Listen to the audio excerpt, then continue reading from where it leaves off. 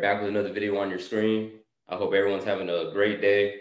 You know, I'm here with um some heavy, heavy fighters, man.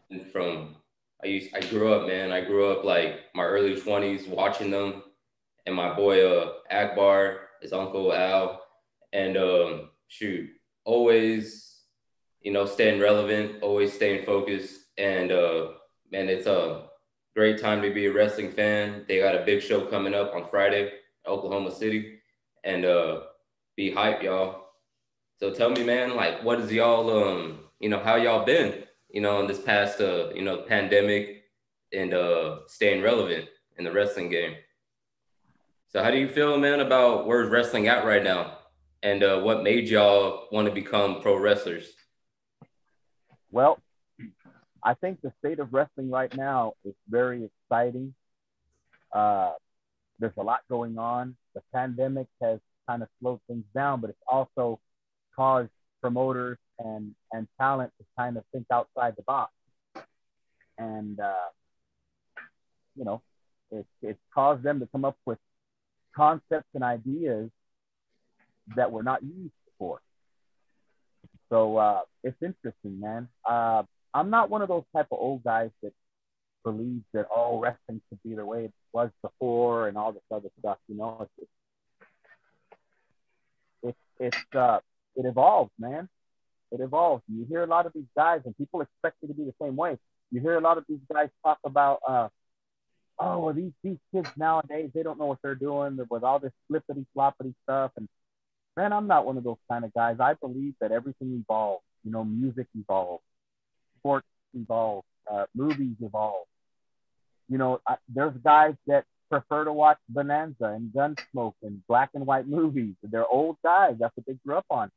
So when you show them something with a lot of uh, a lot of uh, uh, CGI, they can't get into it. Well, you know, and, it, and it makes sense. Well, same way in wrestling. You know, you can't sit there and say that the wrestling nowadays is the shit. Because when I started in 1987, there was guys from my era in 87 that were saying, or not from my era, but there were guys that started when I started, and there were guys older than us that were like guys that started in the 60s and 70s that were saying that what we were doing was too fast. Oh, you guys are just just wrestling nowadays. Evolution. Then you go further back. You got guys like Lou Thesz, Verne Gagne. These guys started in the 40s and 50s. Same way. When they when when when when they when they would be involved in anything wrestling related in the 70s, they didn't want to hit the ropes because back like Lou Thesz, for example, he believed that hitting the ropes was silly. You don't run the ropes. Who does that? Who who who, springboards back off of the off the ropes? You know, because they didn't do that in the 40s and 50s. So I'm one of those guys, and I, I want it to be known. I'm one of those older guys, and yeah, I started in the 80s, but I believe everything evolves, and I love it. I absolutely love it. And uh, of course, you know, I've I've always been involved in music, so I you know, I could have made it bigger. I could have made it WWE. I could have made that, you know, I, I really could have, but I preferred to follow music.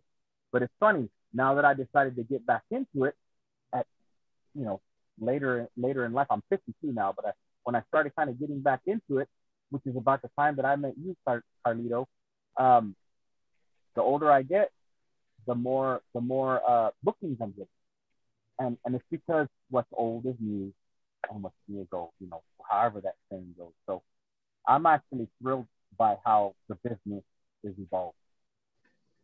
Oh yeah, hell yeah. How do you feel about that, Akbar? Ah, it's true, man. You hit the nail right in the coffee, man. I think um I think wrestling evolves, man. It's like it's it's like a like like a circle.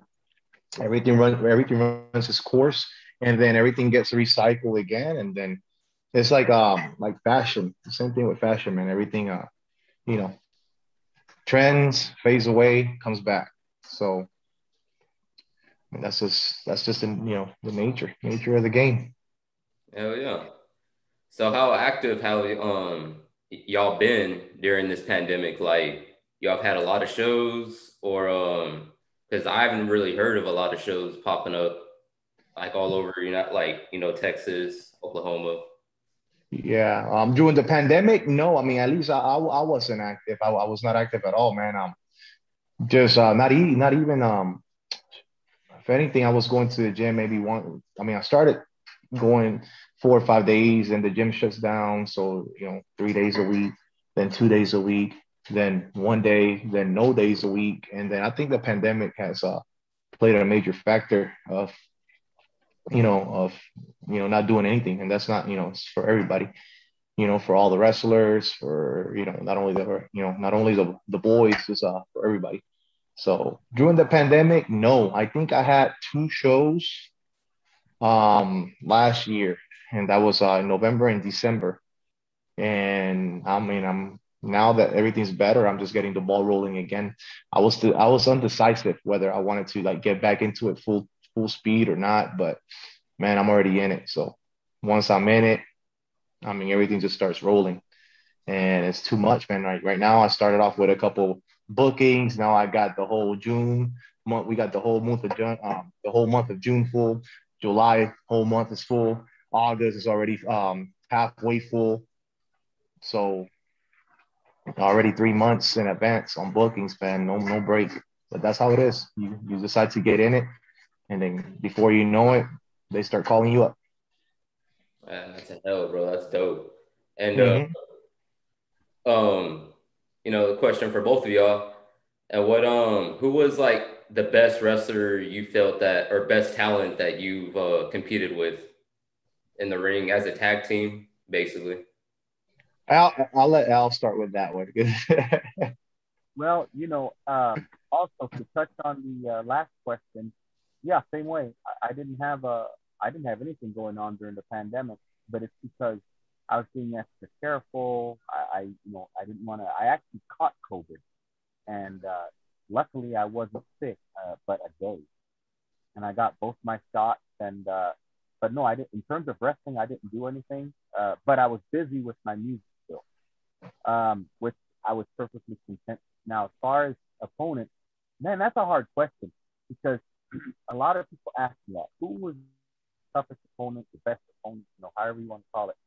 You know, and and man, there's so many. It's hard to mention. Like if if I had to say who were my best, who was my best individual opponent, well, I mean, you know, there are guys, there's guys like indie stars like Pilot, for example, uh, Barrett Brown, that brought out the best in me when I was older, a lot older than them, making me do stuff that I really didn't think I could I, I could do, you know, and and so that that's kind of a tough question to answer. Now, as a tag team, um, again, we've we've worked with a lot of different individuals. But if but if I had to point out one standout match so far, it would have to be against the Von Erich boys because of the involvement of their dad.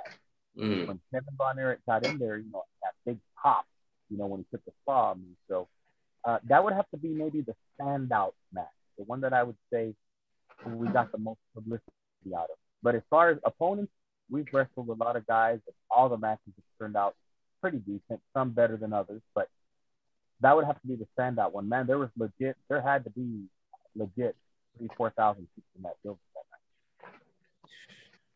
night. Yeah, it was a big ass show.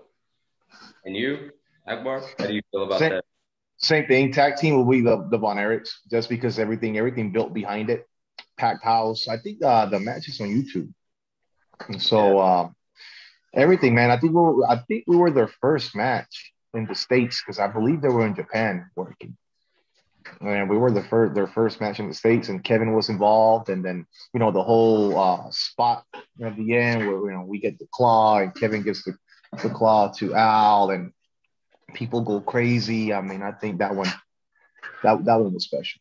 So. Plus, plus plus the history behind it. You got to remember that, you know, for a lot of people, there was a lot of nostalgia behind that match. Because even though Skandor Akbar wasn't physically there with us, um, Black Bart was. So a lot of the old timers, well, first of all, the, the young bloods got to see that second generation in the ring with my second generation, which would be you, uh, Akbar. But for the old timers, it's kind of like the Von Erich Devastation Incorporated Reborn all over it. You know that feud. So it had a lot of little elements that added to the to the to the story of the match. So I really enjoyed it. That's great. You know, like that was one of the matches that I always remember too.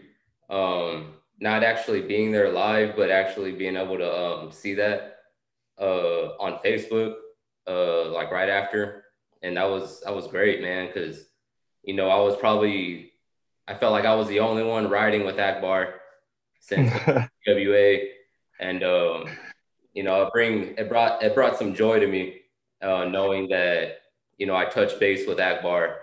You know, man, you've been you've been riding with me since like since I first started, I think, right? Yeah. Like in the flea markets and the you know San Antonio uh you know small gyms and yeah. and everything. I think you were the only one, you know, wearing you know wearing the whole gear on the head, and I'm like, at first when I saw y'all, I was like, who the hell is that? But I, I like what I see. I mean, I must be doing some kind of a good job, you know. But I was green as as as duck shit. So, but, Man, but we were still good. you had that. You had that. Uh, you had that charisma that you were. You you knew when to turn it on, but you hardly you hardly talked at all, and you had. Oh, yeah. um, I'm still the same a little bit. you just stood there with like a blank stare on your face, and I was like, dude, this dude's gonna be the shit right here.